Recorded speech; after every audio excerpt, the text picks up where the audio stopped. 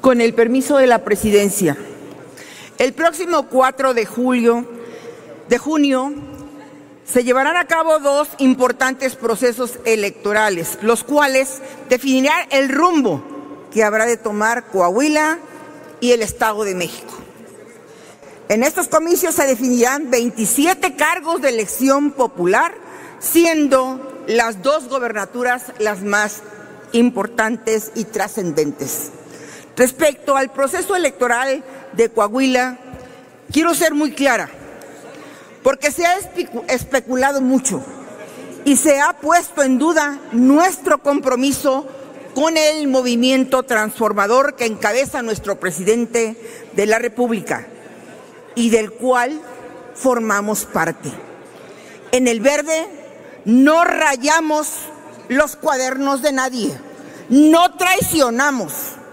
En Coahuila postulamos a un liderazgo local y la razón principal es porque no podíamos acompañar a un candidato que es uno de los principales empresarios taurinos en Coahuila y también con negocios en la industria del carbón.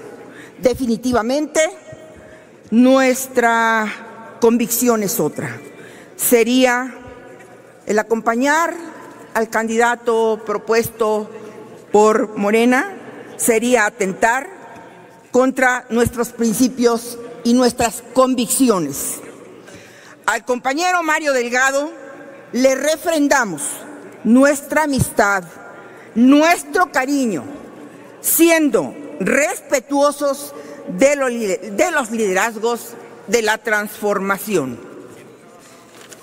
Es preciso señalar la trascendencia alrededor de las elecciones en el Estado de México, no solo por la magnitud de su padrón y por ser la antesala del proceso electoral del próximo año, en donde las y los mexicanos elegiremos a quien habrá de ocupar la presidencia de la República, sino porque en ella se definirá si continúa el régimen que ha perpetrado por sí casi un siglo.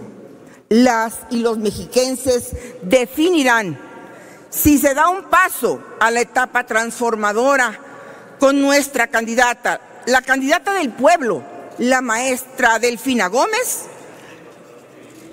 ahí será donde se va a definir. Nosotros no tenemos duda de quién ganará la elección en el Estado de México. Y hoy todas las encuestas marcan una amplia ventaja a nuestro movimiento de transformación lo cual evidencia que la ciudadanía está contenta con la forma en que gobierna nuestro presidente y quiere que la transformación se dé también en el Ejecutivo local. El principal objetivo de un partido político es ser considerado por el electorado la respuesta que los ciudadanos requieren a sus necesidades ganando con ello el voto en las urnas. Sin embargo, en, congruencia con los postulados del Partido Verde, se ha mantenido y mantendremos una campaña de propuestas sin descalificar a ninguna opción política.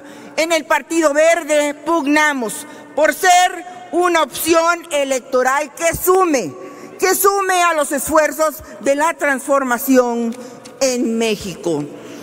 Hoy las y los mexiquenses pueden sonreír porque los malos gobiernos ya se van y en las próximas elecciones del Estado de México la coalición integrada por el Partido Verde, Morena y el Partido del Trabajo seguirá siendo historia y cambiando para bien la realidad de 17 millones de personas. Es cuanto compañeros.